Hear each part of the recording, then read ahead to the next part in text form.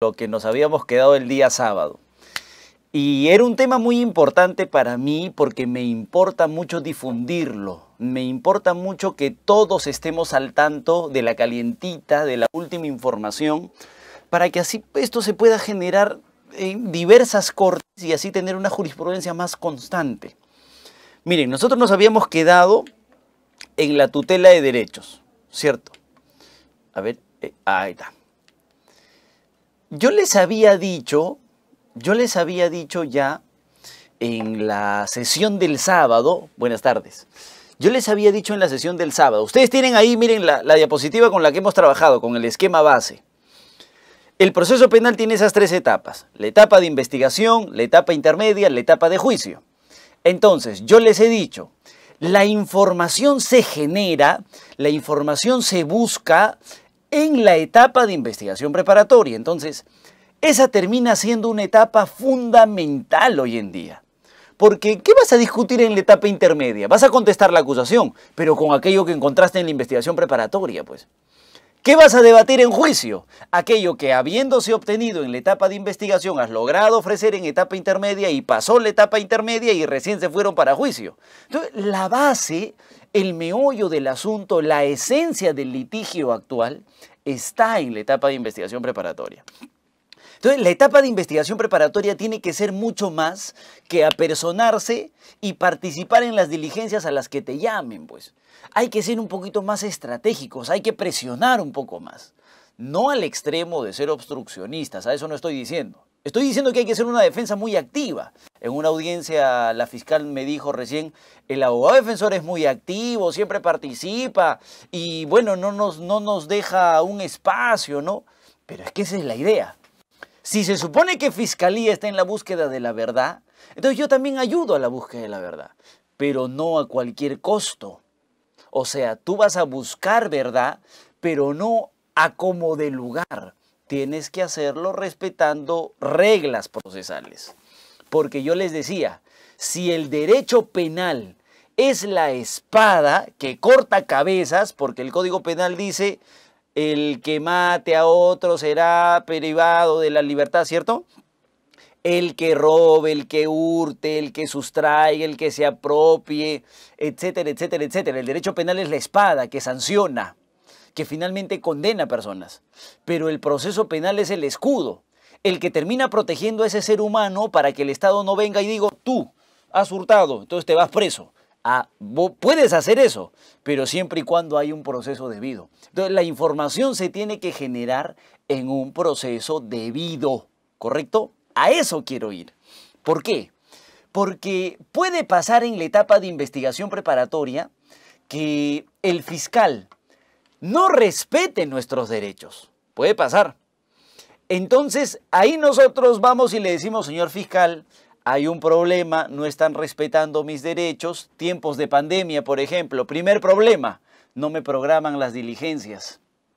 Segundo problema, no han digitalizado la carpeta. Entonces, por favor, ese es mi derecho, porque como yo no puedo ir a la fiscalía a leer la carpeta porque no me dejan, en algunos casos tienes que sacar cita, ahí tenemos los protocolos, pero como hay una limitación, lo que necesitamos es una carpeta digitalizada y que me la mandes para poder estar al día.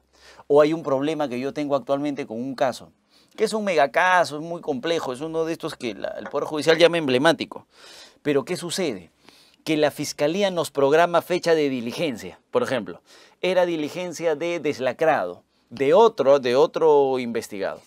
Entonces nosotros agarramos y vamos al deslacrado. Miren que en estos tiempos es bien difícil salir de casa y se supone que no deberíamos salir si, es, eh, si no fuera esencial. Entonces, para nosotros esa diligencia es esencial, porque lo que se encuentra en esa información para nosotros es relevante y quisiéramos participar para ver si el celular ha sido manoseado, ha sido utilizado, si es que se ha respetado la cadena de custodia, ¿no? Entonces nos vamos al mezanine en Abancay, miren, sufriendo y todo, tomando nuestro bus, llegamos y cuando llegamos decimos, toc, toc, vengo para la diligencia. Entonces sale el seguridad y me dice, ¿qué diligencia? Acá no hay nada. No, sí, mira, yo vengo con mi notificación que se iba a llevar a cabo una diligencia. Y se cortó la comunicación. No, estamos bien, ¿no? Ok. Eh, Carlos, algo ha pasado con Carlos Gómez.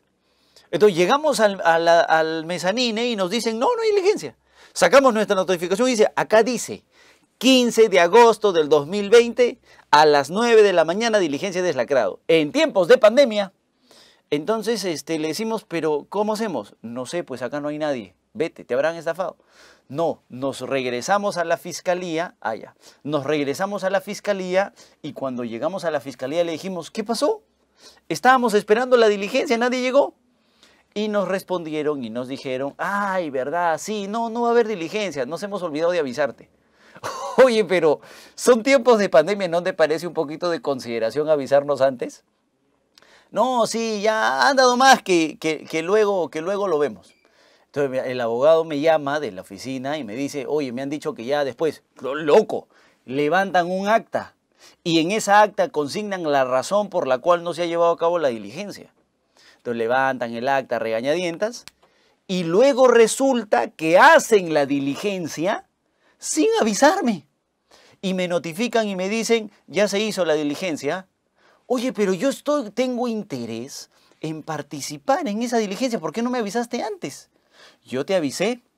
Cuando la hicimos la primera vez, yo te avisé. Y la hemos reprogramado. Pero me tienes que avisar de la reprogramación. Bueno, es que yo cumplo con avisarte una vez y ya tú tienes que revisar si es que reprogramamos. Oye, por el amor de Dios. Y puede pasar, a esto que nos ha pasado a nosotros, puede que les pase a ustedes. Estoy poniendo solo un ejemplo. ¿ah? Entonces, ¿qué sucede? Que en la investigación, miren que están buscando la verdad, porque vamos a deslacrar un celular que viene cerradito con la firma de todos y nos tienen que preguntar, señores, ¿todo bien? y uno revisa las firmas y dice, sí, todo bien.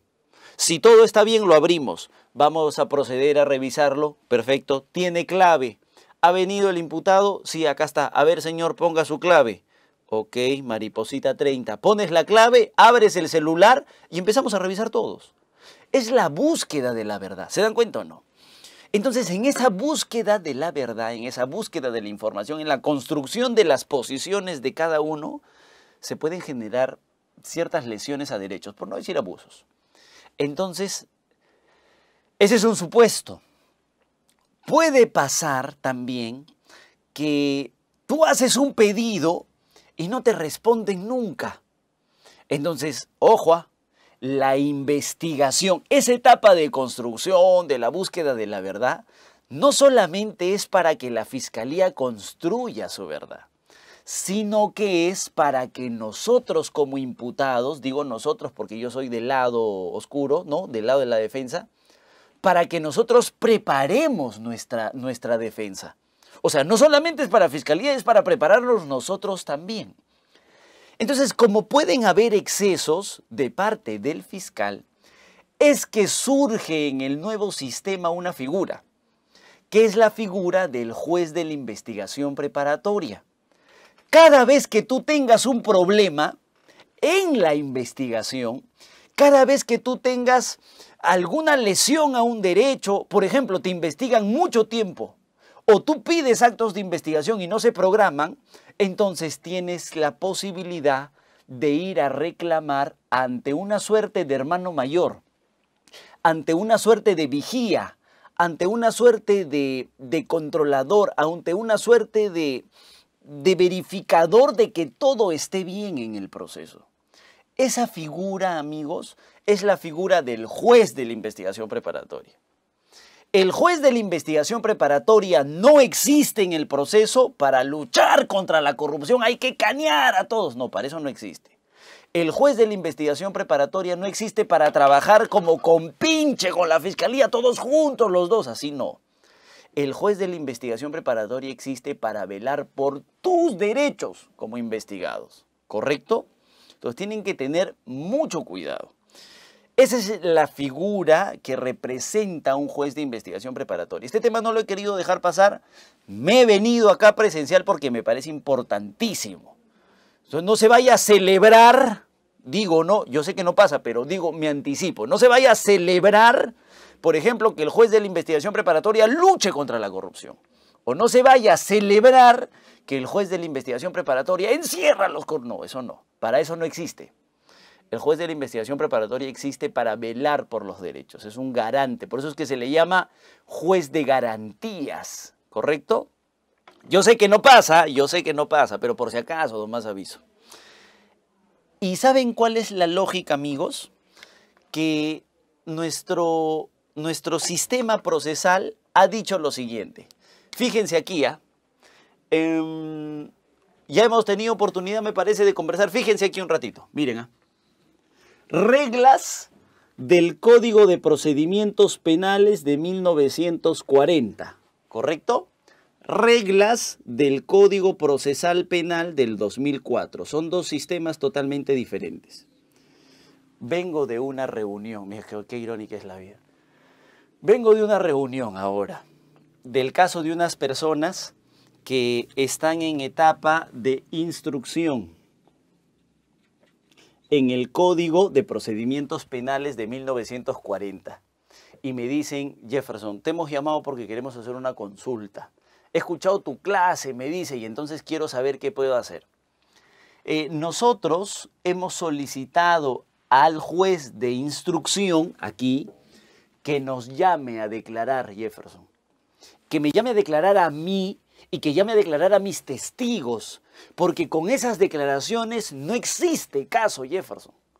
Si ellos declaran, yo soy totalmente liberado del proceso.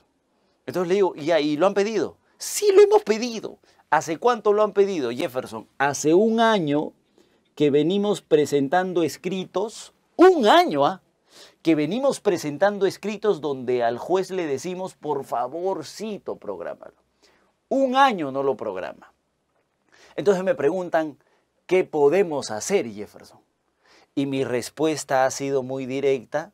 Tienen que tomar asiento, tienen que llorar un rato y luego tienen que seguir insistiendo. Porque no existe en el Código de Procedimientos Penales de 1940 un mecanismo que los ayude a reclamar esa arbitrariedad. ¿Se está lesionando un derecho o no, amigos? Claro, ¿cuál derecho sería? El derecho a probar. ¿Se dan cuenta o no? No hay un mecanismo para reclamar. Les cuento otro caso. Eh, hay una persona que está investigada con el Código de Procedimientos Penales de 1940 en etapa de investigación preliminar. Ya van cinco años de etapa de investigación preliminar.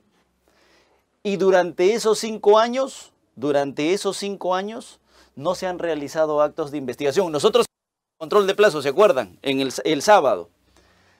Pregunta, me, preguntan ellos, Jefferson, ¿cómo podemos reclamar? Eh, no pueden reclamar, Leo bueno, máximo podrán presentar una queja control interno, pues, pero después no pueden hacer nada. ¿Que no podemos hacer nada? Absolutamente nada. Porque en el antiguo sistema no existe un mecanismo para controlar esto. ¿Qué se estaría lesionando ahí? El derecho al plazo razonable, ¿sí o no? Eh, Jefferson, muy sencillo, no me quieren dar copias, me las niegan, me han dicho que no, que no puedo acceder que, que ya suficiente con que yo tenga solamente el auto apertorio de instrucción y lo demás ya no es necesario. Así han respondido. Están lesionando, cuando no le han dado las copias, ¿ah? están lesionando el derecho a la defensa. Algo tan sencillo como eso, miren. ¿ah? Eso es si es que el caso está siendo tramitado con las reglas del Código de Procedimientos Penales de 1940 no tienes un mecanismo por el que puedas reclamar aquí al interior del proceso. Entonces, ¿qué te queda? Lo único que te queda a la mano, dos caminos. Miren acá. Una queja al control interno. ¿Sí o no? Eso es lo único que te queda. Eso no te va a solucionar el problema, ¿ah? porque la queja va a demorar más que el proceso. Y además Otorongo no como Torongo, entonces no va, ese no es el camino.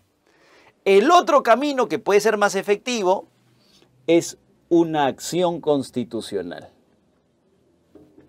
¿Sí o no? ¿Qué acciones constitucionales podrías tú tener a la mano que te ayuden con estos problemas? Dos acciones constitucionales. Aquí. Tú tendrías un habeas corpus podría ser si es que tienes alguna vinculación, porque en su modalidad de habeas corpus conexo, tú podías proteger la lesión a estos derechos conexo a la libertad, podría ser. O también podrías eh, utilizar un amparo. Porque existe la lesión de un derecho, ¿sí o no? Entonces, dense cuenta, no tienes forma de reclamar al interior del proceso. Tienes que escapar del proceso para que puedas buscarle una solución. La queja no es una solución efectiva y además, ¿qué ganas quejando? No, no ganas nada. Tarde o temprano llega la maldición, no hay problema. La única solución efectiva sería la acción constitucional. Entonces tendrías que escoger, ya va a depender, no quiero entrar en ese debate ahorita, pero va a depender, tendrías que escoger entre un habeas corpus o un amparo. Ya va a depender del tema, ¿cierto? Del caso en concreto. Ahora miren, ¿ah? ¿qué es lo que te dice el nuevo código? Este Código Procesal Penal del 2004. Dice lo siguiente. Oye, ¿cuántos amparos y cuántos habeas corpus se han generado? ¿Cuántos se han generado simplemente porque no podemos resolver los procesos, los problemas al interior del proceso? ¿Cuántos? Un montón calcúlale un 70%. Ah, caramba. ¿Qué te parece si mejor hacemos que este proceso constitucional lo metemos al proceso? ¿Que eso se puede? Claro. Un proceso constitucional dentro del proceso penal. ¿Cómo podrías hacer eso? Primero necesitas a un constitucionalista. Necesitas a un juez que proteja los derechos, ese juez que ustedes están viendo ahí en pantallas, que sería el juez de la investigación preparatoria. Ya tienes a quien va a resolver las acciones constitucionales al interior del proceso. Jefferson, no seas animal. ¿Cómo vas a decir que hay un habeas corpus dentro del proceso? ¿Cómo vas a decir que hay un amparo dentro del proceso? Entonces cambiémosle el nombre. Pongámosle tutela de derechos. ¿Te están lesionando un derecho al interior del proceso? Sí. ¿Qué tendrías que hacer como regla? Irte, porque no hay un mecanismo de solución dentro del proceso. Tendrías que irte fuera del proceso. Así que interpones tu habeas corpus, interpones tu amparo. Pero ahora mejor te creo un mecanismo al interior del proceso para que ya no te tengas que ir fuera, llamado la tutela de derechos. Con esto acudes al juez de la investigación preparatoria y ya no tienes la necesidad de escapar a un proceso constitucional. ¿Se dan cuenta o no? Es vital, es vital que la figura de la tutela de derechos funcione. Porque si no funciona, entonces lo que vamos a hacer que es, ah, ah, no sirve acá. Entonces, como no sirve acá, regreso a como estaba antes regreso a los amparos, regreso a los habeas corpus, ¿no? Hacer cola ahí con nuestro recurso de agravio constitucional. Entonces hay un problema. Ahora, si esto queda claro, amigos, vamos al artículo que legaliza, que legaliza finalmente eh, la aplicación de esta tutela de derechos al interior del proceso penal, ¿correcto? El artículo 71 del Código Procesal Penal, yo estoy escribiendo un artículo que se llama un proceso, un proceso constitucional al interior del proceso penal, la tutela de derechos. Va a salir en un libro de Gaceta que ustedes van a encontrar pronto. Y estoy desarrollando algunas cosas interesantes, pero se las quiero adelantar y se las quiero explicar hoy día a ustedes. ¿Qué pasa? Revisen ustedes el artículo 71. Quizá ahí no lo pueden leer completo, pero es muy concreto el artículo tiene cuatro incisos. El primer inciso dice, como es natural, que los derechos el imputado los puede ejercer por sí mismo, o sea, él puede ir a tomar fotos a la carpeta, ¿cierto? Él puede eh, ir a declarar para defenderse o puede ejercerlos a través de su abogado. Su abogado apela por él, su abogado participa en la audiencia por él, etcétera, etcétera. Ahí no hay problema. El segundo inciso, dense cuenta que dice cuáles son los derechos que tiene un imputado. Y reconoce unos seis derechos que son los derechos conocidos como los derechos informativos. Que dice, señor, usted tiene derecho a guardar silencio. Si es que no renuncia ese derecho, tiene derecho a que esté presente su abogado. Señor, esta es una copia de la resolución de su detención. Señor, esto es lo que le imputamos. Señor, usted tiene derecho a no ser sometido a tratos crueles, inhumanos. Señor, usted tiene derecho a que lo lleven al médico legista para que verifique su estado de salud al momento de su intervención.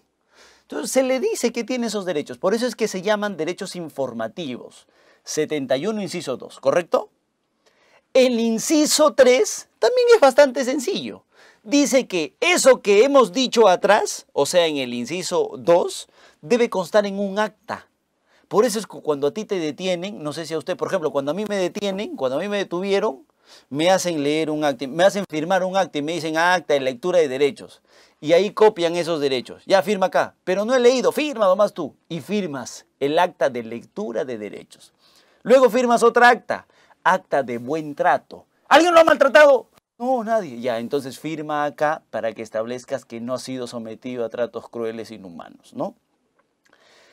Solo una observación, amigos.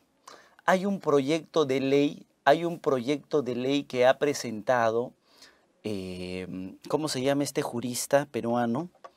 El doctor Urresti ha presentado un proyecto de ley. Y el proyecto de ley lo que dice es que quieren cambiar el Código Procesal Penal en este artículo. Y quieren decir que si el imputado quiere, ojo, al día de hoy, si un imputado quisiera declarar, tiene que hacerlo obligatoriamente en presencia de su abogado y en presencia del fiscal. Obligatoriamente, si no esa prueba es ilegal. Entonces el jurista lo que ha dicho es que si es que un imputado quiere declarar frente al policía y no está su abogado y no está su fiscal, debe ser permitido, por ejemplo. Porque ¿qué es lo que se hace? No sé si ustedes han visto en televisión, esos videos no son gratis, pues, ¿no? El policía agarra al delincuente y lo tiene acá contra la pared como si fuera Jefferson en Serpro, así. ¿Cuál es tu nombre? Jefferson Moreno. ¿Cómo te hemos atrapado? ¿Robando, sí o no? Sí, me han atrapado. ¿Cómo somos los ternas? Son unos, ¿cierto? Entonces, como te graban así, esa información se puede considerar una declaración no se puede considerar una declaración. ¿Por qué no? Porque no está presente mi abogado y porque no está presente el fiscal. Entonces lo que quieren hacer es modificar el Código Procesal Penal para decir que el imputado puede declarar frente al policía aunque no estuviera su abogado ni el fiscal. Entonces lo voy a dejar ahí más porque eso es un tema que a mí me preocupa mucho, pero quería contárselos. Entonces, decía, tenemos el inciso 1 que dice que los derechos los puede ejercer el imputado por sí mismo o a través de su abogado.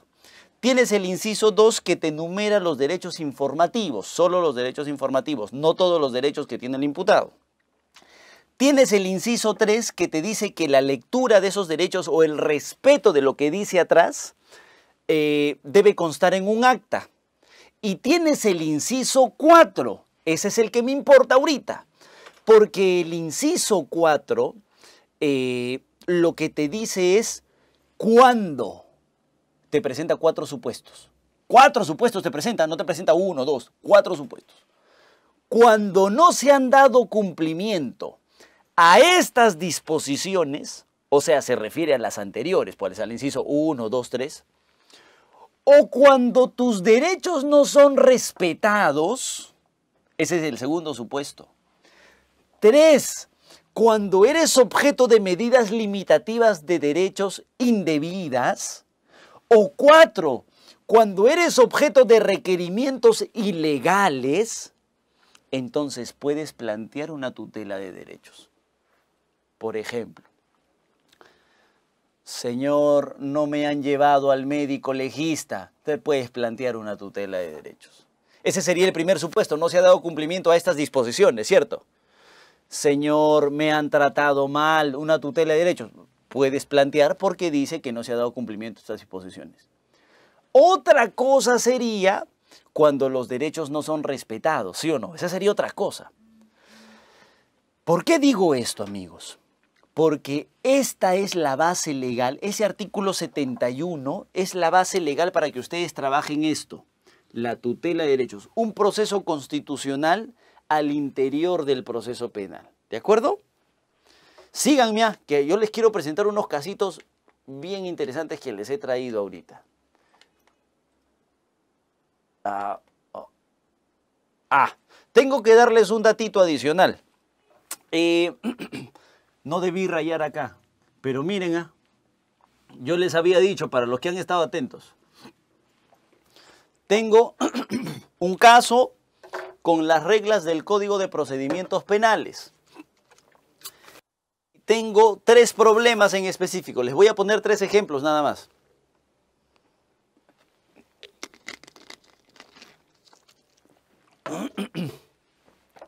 Primer problema. Eh, he pedido hace un año actos de investigación y no los hacen todavía. ¿Me están lesionando el derecho a probar, sí o no? Claro. Tengo cinco años en investigación. Me han lesionado el plazo razonable. Estoy pidiendo copias y no me las dan. Me han lesionado el derecho a la defensa. En el antiguo sistema no tienes cómo reclamar. Si estos problemas se presentaran en el nuevo proceso, en el nuevo código, entonces tú tendrías que invocar la institución, la figura de la tutela de derechos, ¿cierto? Tendrías que decir, Aquí me están lesionando el derecho a probar. Aquí me están lesionando el plazo razonable. Aquí me están lesionando el derecho a la defensa. ¿Sí o no? Eso tendrías que hacer. El problema es que la Corte Suprema ha dicho que la tutela de derechos tiene carácter residual. ¿Qué quiere decir eso? Que solamente puede servir cuando no exista otro mecanismo en específico. Por ejemplo, tú has pedido actos de investigación hace un año y no te los programan, ¿cierto? ¿Te están lesionando un derecho? Claro que sí, sería el derecho a probar. Pero para reclamar esa situación hay un mecanismo en específico, lo hemos hablado. Es la audiencia de inadmisión de diligencias. Entonces no puedes plantear tutela.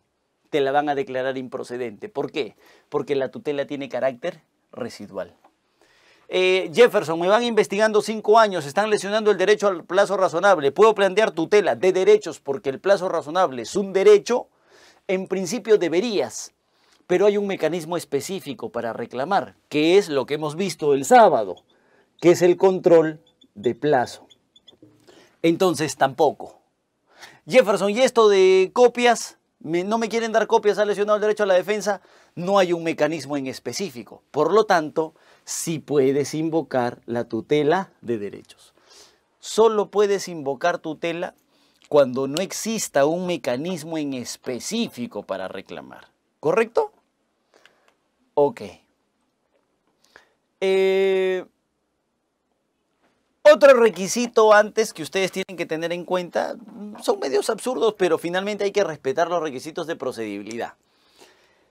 Además, uno sería, uno acá, la, uno sería la residualidad, la tutela de derechos es residual. Dos, otro requisito de procedibilidad es el requerimiento previo. O sea, si a ustedes los están violando en sus derechos, ustedes tienen que ir a reclamarle a quien esté realizando esa conducta primero, que tendría que ser policía o fiscalía. Cualquiera de los dos podría lesionar sus derechos.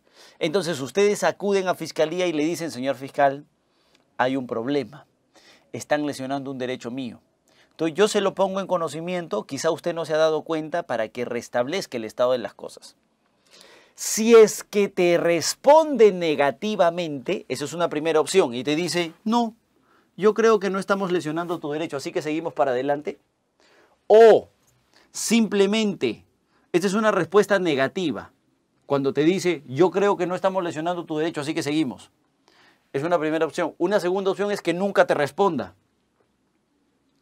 Entonces tú tienes que presentar pedidos constantes. Bastarían dos, tres pedidos.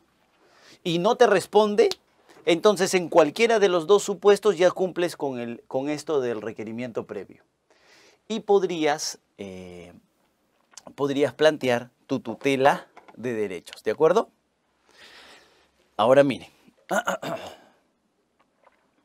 Ah, ojo, no siempre tienen que convocar a audiencia. Eso es algo que hay que utilizar mucho y no se está utilizando, no sé por qué.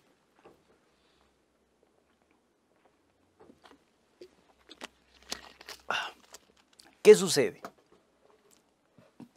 Eh, cuando tú presentas tu requerimiento a Fiscalía y le dices, oye, me están lesionando el derecho, te responde que no o simplemente no te responde y tú has presentado pedidos reiterativos, puedes acudir al juez de la investigación preparatoria.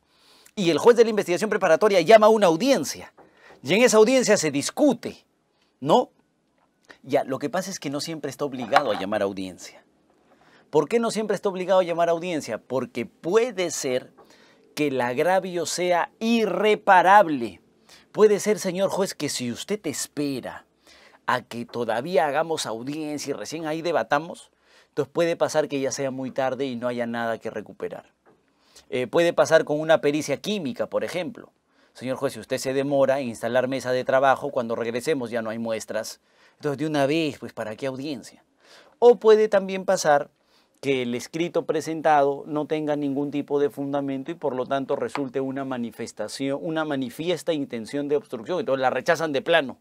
Ya ni siquiera llaman audiencia. ¿Correcto? Ojo con eso.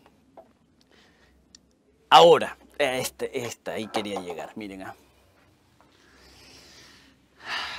Yo les he hablado del artículo 71, ¿sí o no? Esa es la base legal para que ustedes puedan invocar la figura de la tutela de derechos. Pero en el artículo 71 yo les he dicho que hay cuatro incisos y que en el inciso 1 solamente se habla del ejercicio que se puede hacer a través del imputado o a través del abogado. El inciso 2 dice cuáles son los derechos, pero solamente los derechos informativos. El inciso 3 dice que todo esto debe constar en acta. Y el cuarto dice que si no se respeta puedes plantear tutela. ¿Cierto? Ese es el esquema. ¿Qué pasa? en esos pronunciamientos que ustedes están viendo en la diapositiva, la fiscalía ha dicho, la, fiscalía, el poder judicial, el poder judicial ha dicho que la tutela de derechos solamente puede proteger estos derechos de acá. Los del artículo 71, inciso 2 si es que los derechos que tú alegas se han lesionado no están en el artículo 71, inciso 2, entonces no puedes reclamarlo vía tutela. Yo tengo una audiencia, por ejemplo, ahorita les voy a pasar, si no la han visto. Es una audiencia sobre los testigos protegidos. Y yo llegaba a la audiencia y le decía, señor juez, este, se me ha lesionado Miren, ah, se me ha lesionado la garantía de la tutela jurisdiccional efectiva en su manifestación de acceso al recurso. No me han permitido el acceso al recurso, por lo tanto se me lesiona la tutela jurisdiccional efectiva. El juez agarra y me pregunta, abogado, ¿qué derecho dice? Tutela jurisdiccional. Ya, ok. Eh, ¿Eso está dentro del catálogo del 71, inciso 2?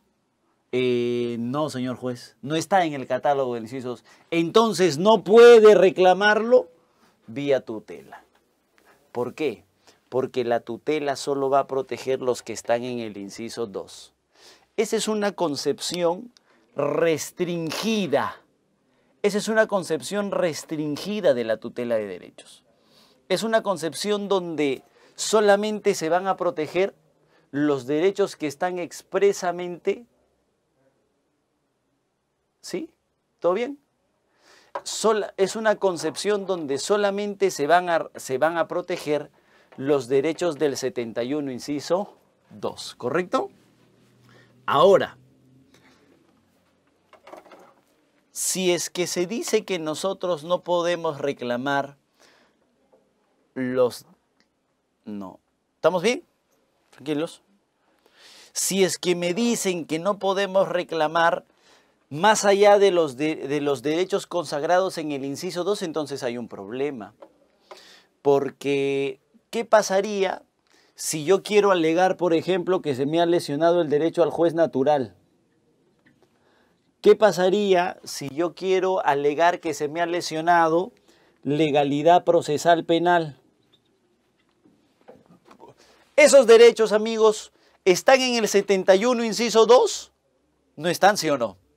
Y como no están, no puedes alegar tutela.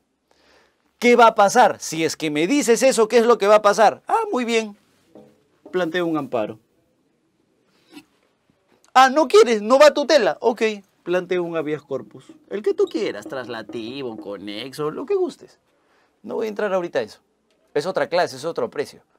Pero lo que les estoy diciendo es esto.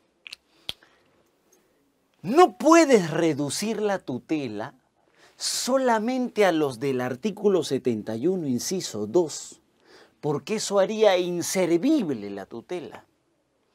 Porque eso haría que la gente escape otra vez, que los litigantes escapen otra vez al amparo y al habeas corpus.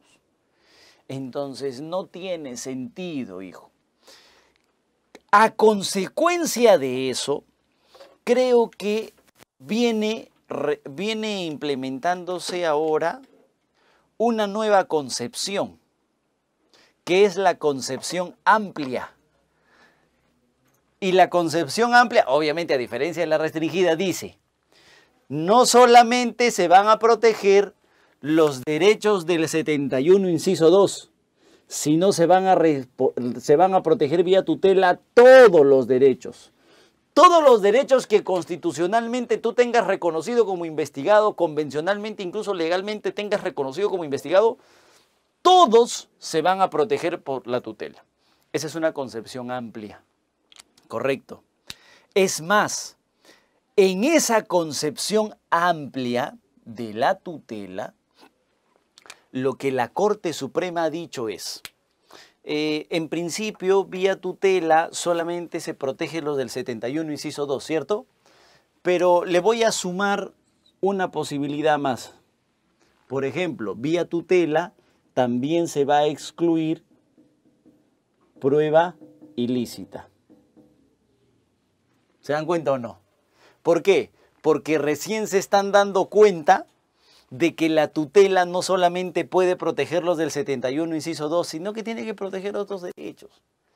Es por eso que han aceptado excepcionalmente que la tutela no solamente proteja los del 71, inciso 2, sino que además excluya, permita la exclusión de prueba ilícita. ¿Se dan cuenta? Ese es un tema. Ahora, dicho esto, dicho esto, quiero contarles algunas cosas voy a arrancar aquí. Con esto terminamos. Miren, ¿ah?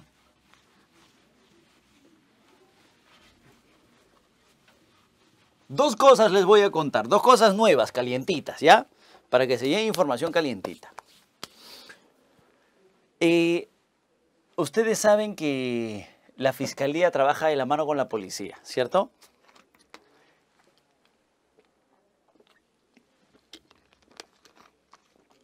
Entonces, un día, la, la policía obtiene información, un caso. Un magistrado, escuchen, ¿ah? no se pierdan, ¿ah? esto, es, importante, es interesante. Un magistrado eh, tiene a su hijo que juega pelota, que es pelotero. Sí, sí, sí, por, Ah, yo, les hago, yo les hago llegar las, resoluciones de la concepción amplia. Les he puesto en la diapositiva, por si acaso, los datos exactos ¿ah? de las resoluciones. Por ejemplo, la Sala Penal Especial de la Corte Suprema, miren lo que dice, ¿ah? literal amigos, dice que resulta incorrecto afirmar que la tutela de derechos únicamente se puede plantear cuando se afectan los derechos señalados en el inciso 2 de la citada norma es una visión obviamente más amplia de lo que se pensaba protegía la tutela. eso, eso ahí yo les dejo los datos exactos y si quieren yo les paso las resoluciones. Ya, pero les estaba contando un caso. Eh, ¿Qué sucede? Hay un magistrado que tiene su hijo, que es pelotero, se supone. Pero según la fiscalía el hijo es malísimo, o sea, pelotero es, es cojo, no juega. Pero como su papá es magistrado, según la fiscalía, como su papá es magistrado, lo que hizo fue buscar al dueño de un equipo, no voy a dar el nombre del equipo, bueno, ustedes van a leer la resolución, el equipo Cantolao. Entonces resulta que un funcionario público tenía unos casos donde estaba siendo procesado. Y él era socio, dueño, no sé, algo de Cantolao, tenía influencia en Cantolao. Entonces se supone que el trato era este. Yo te ayudo con tus casos y tú lo pones de titular a mí y le das la 10, ¿sí o no? Entonces se supone que el funcionario aceptó y así hicieron debutar a su hijo, me parece, en primera división, segunda división. Bueno, eso es irrelevante, pero la cosa es que ese era el trato.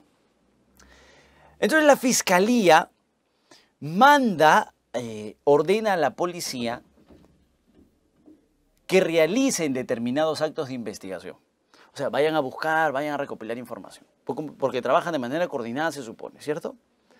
La policía está por ahí buscando información y se encuentra con una fuente humana. Un informante. Y le dices, oye Cholito, ¿qué estás haciendo? Nada, acá. Te invito a un pollito. Y lo llevan a la pollería Rockies. Y en la pollería Rockies se sientan y empiezan a conversar. Ya, a ver, te voy a tomar tu declaración, le dice el policía. Cuéntame, pues tú qué, qué has estado, qué sabes, qué información tienes. No, yo no puedo contarles nada porque si yo cuento la información, mañana amanezco muerto, ¿cierto? Tiene miedo. Tranquilo. Yo te voy a yo te voy a poner, yo te voy a poner un código. Te vamos a llamar el negro, tú vas a ser un informante de la policía. Ya, ok, está bien. Entonces el hombre empieza a declarar y le empieza a dar la información a la fiscalía, a la policía. Entonces la policía agarra y hace un parte, que es el parte que ustedes pueden ver ahí en la diapositiva, es el parte 2-2019. Ese parte se lo dan a la fiscalía. Y le dice, señora fiscal, esta es la información que nosotros hemos conseguido de un informante que se llama El Negro. Entonces la fiscalía dice, ahora sí, se fregó el magistrado y le piden medidas limitativas, creo. El abogado demasiado inteligente, lo que hace es decir, espérate un ratito. Eso de ahí, eso de ahí es ilegal. Eso de ahí no lo puedes utilizar. Y agarra y plantea una tutela de derechos. Y vía tutela, obviamente el juez de primera instancia rechaza, pero la sala con más sabiduría razona y dice un ratito. Tú puedes incorporar información a la carpeta, no hay problema, pero tienes que hacerlo de manera legal. No lo puedes hacer así a través de un parte. No puede declarar un informante en un parte, porque esa, esa, esa, figura de la entrevista no existe en realidad. Entonces, si tú quieres que esa información dada por el informante eh, ingrese al proceso, entonces tienes que hacerlo declarar como testigo en el proceso. Tienes que llamarlo a la investigación a declarar. Pero, oye, ¿cómo lo voy a llamar a la investigación a declarar si el hombre tiene miedo? Si declara, lo matan. Entonces hazlo testigo protegido. Porque si lo haces testigo protegido, ya nadie va a saber quién es, pero la información la declara en el proceso. Lo que me ha llamado mucho la atención es que la sala especial de la Corte Suprema ha declarado fundada la tutela, pero ojo, ¿Qué derechos se habrían lesionado, amigos? ¿Qué derechos? Ahí se habría lesionado, primero, legalidad procesal penal. Porque la ley prohíbe que se use la declaración de un informante si es que no ha declarado en el proceso. Pregunta, ¿la legalidad procesal penal está en el artículo 71, inciso 2? No está, ¿sí o no? ¿Qué quiere decir? Que la sala especial de la Corte Suprema ha ratificado que vía tutela de derechos no solamente se protegen los del 71, inciso 2, sino que se protegen todos los derechos que, tenga consagrados el imputado. Esa me parece importantísima. Y luego, quiero contarles de una más. Ah, esta es la mía. Esta no me voy a cansar porque voy a tener seca la fiscalía con esto. Miren, ¿ah? Una chiquita nomás. ¿Qué pasa? ¿Cuál es el camino de la prueba, amigos? ¿Se acuerdan ustedes? La prueba se obtiene aquí. Fíjense aquí, solo pizarra, solo pizarra. Ya no voy a utilizar la, la diapo. Miren, fíjense. Este, la prueba se obtiene Una vez obtenida se ofrece. Una vez ofrecida vemos si se admite. Una vez admitida se actúa en juicio. Y una vez actuada en juicio finalmente se valora, ¿cierto? El juez verá si sirve o no, si tiene eficacia o no. Entonces, ¿qué pasa? Yo me quiero concentrar a cuando la prueba se obtiene, ¿correcto? Todo, toda fuente de prueba se tiene, que, se tiene que obtener primero. Sea prueba testimonial, sea prueba documental, sea prueba pericial, tienes que obtenerla, tienes que producirla. Lo mismo pasa con la prueba pericial. Y el código dice que el fiscal, ojo, designa su perito, lo voy a poner así, mire, su perito oficial. ¿Cierto? Una vez que la fiscalía designa su perito oficial, le da cinco días a las partes para que las partes puedan designar a su perito de parte. ¿Correcto? Una vez designado su perito de parte, el fiscal, el perito oficial inicia su trabajo. Por ejemplo, le dan 30 días. Luego de los 30 días, el perito oficial tiene que emitir su informe final, su informe pericial final. ¿Correcto? Una vez que emite su informe pericial final, ese informe se le notifica a las partes para que las partes en el plazo de cinco días puedan presentar observaciones. ¿Cierto? Esa es la regla. Ojo. ¿ah? Entonces, ¿qué es lo que pasa en la realidad, en la práctica peruana? Tú designas tu perito de parte y como, como buen samaritano esperas a que el perito oficial termine su pericia y recién al final te mandan su pericia oficial y tú tienes cinco días para hacer observaciones. De ahí no haces nada más. Y luego tu perito de parte hace su pericia de parte. Listo, y eso lo presentas. Ese ha sido el trabajo clásico, cuando hemos trabajado siempre pericias. Esto ha nacido, les voy a decir, ha nacido a raíz de una pericia contable, ¿ya? Pero lo que les voy a contar ahorita, pero en realidad yo creo que aplica a todas las pericias que se hagan, absolutamente a todas. ¿Qué pasa? Miren acá, con azulito para que se note. Si el perito oficial va a tener 30 días para trabajar su informe final, su informe pericial final, ¿por qué mejor no se sientan en la misma mesa perito oficial y perito de parte. Porque el perito de parte puede presenciar las actividades del perito oficial. Entonces, lo que yo le pido a la fiscalía es que me diga, ya, ¿cuándo arrancan a trabajar? El lunes. Perfecto. ¿A qué hora nos vemos? No, no, no, no. Este, el lunes va a trabajar mi perito, ya él verá a qué hora. No, tiene, tienes que decirme, ojo, ah, fiscal, tienes que decirme qué días de la semana.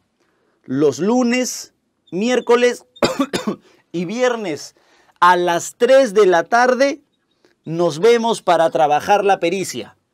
Eso es lo que yo le pido al fiscal. Es decir, que se instale una mesa de trabajo. ¿Correcto? Que se instale una mesa de trabajo para que me diga qué días va a trabajar el perito oficial y esos días yo pueda mandar a mi perito de parte para que mi perito de parte esté sentado en la misma mesa y controle. Así evitamos coimas, así evitamos errores y así evitamos que el perito oficial no analice de manera debida la pericia de parte. ¿Sí o no? Entonces, la primera vez que hemos hecho esto y se ha planteado la solicitud de mesa de trabajo, Fiscalía nos ha respondido y nos ha dicho, tú estás loco. Porque en qué parte del código dice que se tiene que instalar mesa de trabajo, no dice. Y como se trabaja de manera cuadrada con la ley, entonces nos han dicho, no, no vamos a instalar mesa de trabajo. Pero además, no podemos decirte qué días vamos a trabajar porque mi perito trabaja cuando él quiere. Yo le he dado 30 días para que haga. Ya él verá si lo hace en su casa, en el baño, mientras almuerza, ya él verá.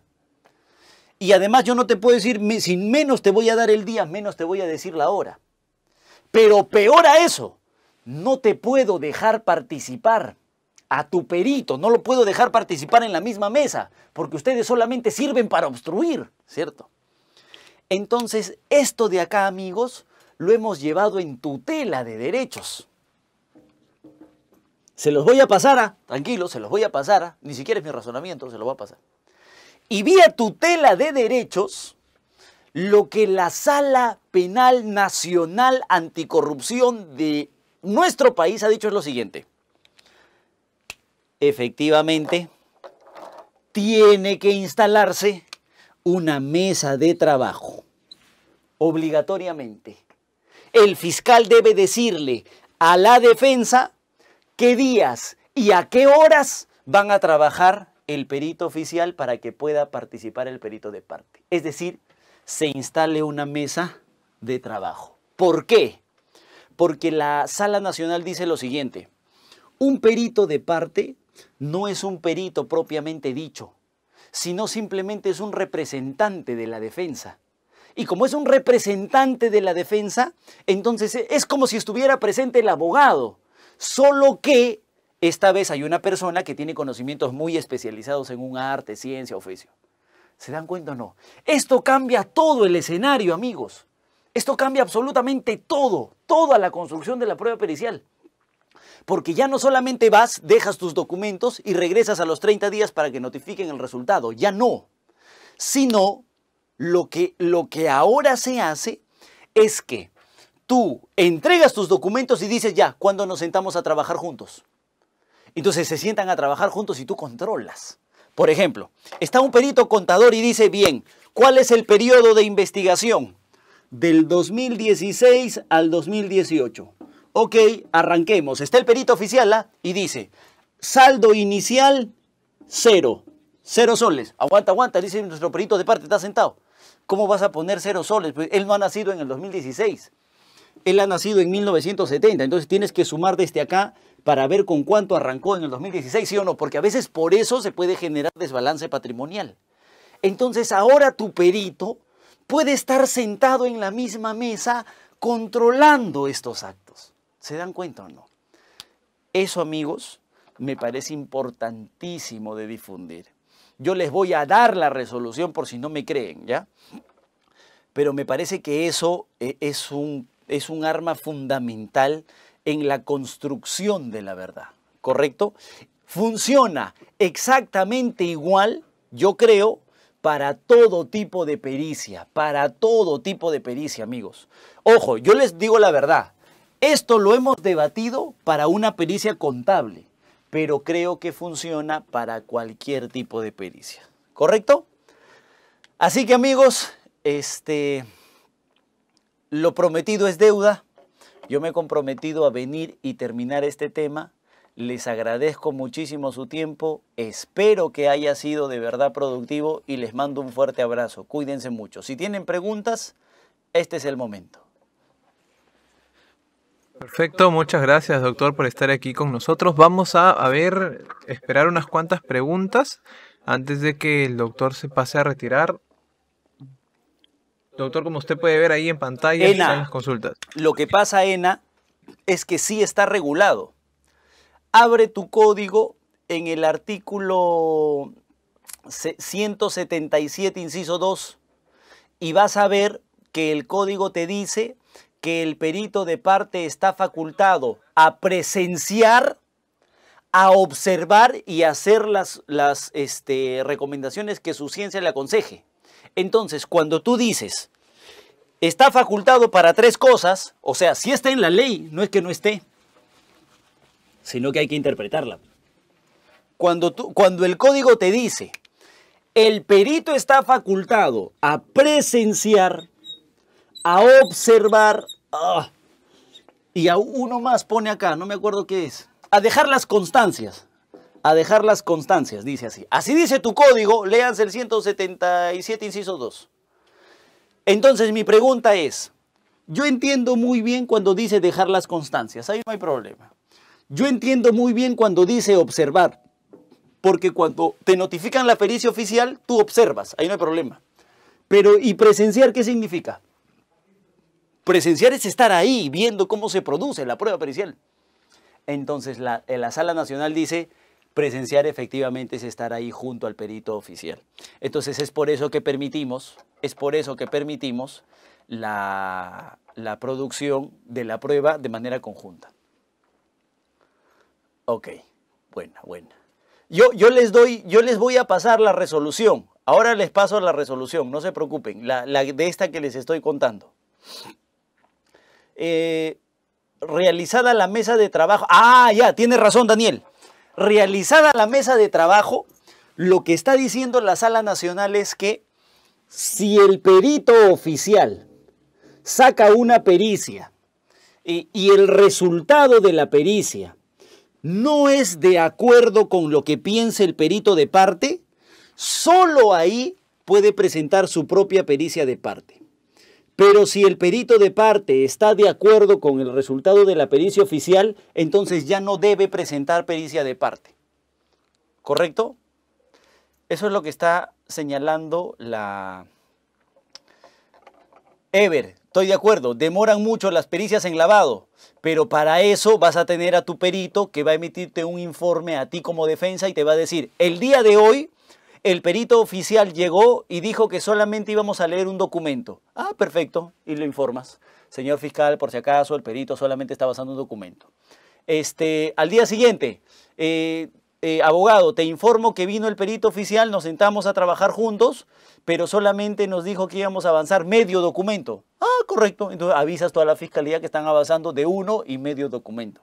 Entonces, así puedes incluso presionar para que ya no estés, como dice, como comentaron ahorita, de que tú entregas tu documentación y después de tres años está la pericia. No, ya no. Ahora vas a estar sentado en la misma mesa para saber, para saber este, para poder controlar la información, ¿correcto? Em, las actas, las actas, estimado Mario, contienen horas distintas antes de la intervención, por supuesto, procede una tutela de derechos por el no darle cumplimiento a las disposiciones del artículo 71. Totalmente, sí, ahí no hay problema, ahí no hay problema. Eh, el fiscal puede negarse practique evaluación psicológica un agraviado en etapa de investigación preliminar y preparatoria con tutela en acusación como y en juicio en qué forma. Primero, la producción de esa prueba tiene que darse necesariamente en investigación preparatoria, sea preliminar o preparatoria. Si es que ya existe una pericia psicológica, entonces está prohibido que el agraviado sea sometido a un nuevo examen, porque se trata de evitar su revictimización. Pero si tú solicitas y es la primera vez y no lo hacen, entonces tu mecanismo de lucha es la inadmisión de diligencias ahí peleas. Ya no sería tutela, sería inadmisión de diligencias, ¿correcto? Eh, sucede lo mismo con los peritajes en cámara GESEL y evaluación psicológica. A ver, lo que pasa es que la cámara GESEL es, una, es un tema sui generis, porque mucho se discute en nuestro país, acuérdense, si la declaración en cámara GESEL es una prueba anticipada o es una prueba preconstituida. No se sabía, hasta que la Corte Suprema ha dicho que en realidad se trata de una prueba anticipada sui generis, en la que participa el fiscal dando legalidad, participa la defensa y finalmente se actúa la prueba y ya no se vuelve a repetir. Entonces en ese caso no, ahí sí no, ahí no creo. Eh, ah, ese es un buen tema, Lisetti. Lisetti pregunta si el agraviado puede presentar tutela. Eh, miren, lo que ha reconocido la jurisprudencia peruana es que solamente el imputado puede plantear tutela. Hay casos en los que agraviados han presentado tutela, pero los han rechazado porque se ha señalado que la tutela solo es para el imputado y los derechos del imputado. Es algo con lo que yo no estoy de acuerdo, porque, espérame, Torres sale, ahorita te respondo. Es algo con lo que no estoy de acuerdo porque yo considero finalmente que el tercero civil responsable y el actor civil ejercen los mismos derechos que el imputado en un proceso penal, entonces deberían también poder acceder a la tutela, pero no se les permite. ah, me ha llamado la atención. ¿Se puede presentar tutela cuando a un testigo en clave dijo que no lo conoce al investigado y luego en otra pregunta describe las características del investigado que no conocía? No. Este, ese es un tema de fondo. Este es, ese es un tema de fiabilidad del testigo, es un mentiroso, tiene información inexacta, no se está confundiendo. Esa es una cuestión de fondo, es una cuestión del debate de la fundabilidad del elemento, pero no es pasible discutirlo vía tutela. Ah, doctor Marcos, ¿cómo, si se encuentra pendiente la audiencia de inadmisión de diligencias y el MP acusa, ah, se me fue, arriba, ahí, ahí, si, si se encuentra pendiente la audiencia de inadmisión y el MP acusa, alega que ya no se acepta más diligencia. Ah, el juez puede retrotraer. Ay, qué buena pregunta, Marcos. Este, es algo que está pasando muchísimo en nuestro país y me parece que es una estrategia que están compartiendo nuestros amigos. Están haciendo esto, miren, ah, le voy a contar. A ver, Marcos, corrígenos ah, si nos equivocamos, pero me corto el brazo izquierdo en este momento a que esto es lo que pasa diligencias preliminares, investigación preparatoria formalizada. La investigación formalizada dura ocho meses, ¿cierto? Acá están los ocho meses. Y resulta que aquí, al mes número siete, lo incorporan a Jefferson Moreno. Lo incorporan al proceso. ¿ah? Y cuando me incorporan digo, oye, ¿cuánto falta para terminar? Un mes. Entonces quiero que me tomes mi declaración, quiero que por favor este, realices actos de investigación rápido. Y el fiscal te dice, no, ya no, voy a cerrar la investigación. Y cierra la investigación. Y te acusan. Y el problema es, Jefferson, ¿puedo plantear tutela contra eso? Entonces nosotros hemos planteado tutela. El problema es que el juez Concepción ha marcado jurisprudencia en el país y han dicho, por eso es que no es bueno celebrar algunas cosas. El doctor ha dicho lo siguiente, ¿qué derecho se te ha lesionado? El derecho a la defensa. Ya. Pero si te vas a defender en el juicio, entonces ¿cuál es el problema? Tranquilo, más adelante te defiendes. Ah, ok, ok, gracias. Y segundo problema, dice el juez, la tutela solamente se puede plantear mientras exista la investigación preparatoria. Solo en la investigación preparatoria. Si el fiscal ya ha concluido la investigación preparatoria, entonces ya no puedes plantear tutela, pues, porque la tutela sería improcedente. Improcedente porque ya la investigación ha terminado. Problema. Entonces a mí me parece un aspecto problemático. Eh, va a pasar, va a pasar que cuando en la etapa intermedia un fiscal sobresee, requiere el sobreseimiento, el juez de la investigación preparatoria le puede decir, oye, te has equivocado, regrésate por donde viniste y hazte una investigación suplementaria. Es decir, te faltan algunas cositas, hazte esto, llama a estos testigos, hazte estas pericias y regresas. Esa es, una facultad que tiene el juez de la investigación preparatoria para ordenar una investigación suplementaria, pero solamente cuando sobresee el fiscal. Cuando el fiscal acusa, no existe esa posibilidad de regresar. Entonces yo estoy trabajando esa tesis, estimado Marcos, me parece de que se permita una investigación suplementaria aun cuando el fiscal acuse. ¿Por qué? Porque la investigación, cuando el fiscal la cierra, me ha negado la posibilidad de realizar actos de investigación. Entonces, como partimos de la idea de que la investigación no solamente es para el fiscal, sino también es para el imputado, entonces debe permitirse la realización de esos actos de investigación. Pero por ahora no se puede. Si te han hecho eso, ya perdiste. Doctor, muchísimas gracias por estar con nosotros aquí el día de hoy, por el compromiso nuevamente que le había comentado desde temprano con los alumnos, no solo con nosotros, sino con sus alumnos también. Yo creo que todos están bastante agradecidos por los comentarios que también habrá podido leer hasta hace un momento. Están totalmente agradecidos y manifiestan en su gran mayoría, yo creo que todos, el agradecimiento es usted y hacia la, magnífica, hacia la magnífica ponencia que hemos tenido en la mañana de hoy, doctor. Un último mensaje para retirarnos y, bueno, esperar la siguiente clase. Muchas gracias a todos amigos. Disculpen si, si el sábado hubo problemas con mi conexión, así que he cumplido mi palabra de venir a estar aquí presente, pese a que es un poquito difícil en tiempos de cuarentena, pero aquí estamos. Muchas gracias, de verdad espero que haya sido productivo para ustedes. Cualquier información que necesiten, yo se las hago llegar, no hay problema. Un fuerte abrazo, cuídense mucho y traten de no salir de casa. Muchas gracias, doctor. Y a todos los demás alumnos se les comunica que la clase eh, del doctor Juan Carlos Portugal está programada para las 5 de la tarde, doctores. Tienen aproximadamente casi una hora para poder hacer algunos pendientes y continuamos ahora ya con la clase, doctores. Vamos a cerrar esta transmisión e iniciamos. Muchas gracias.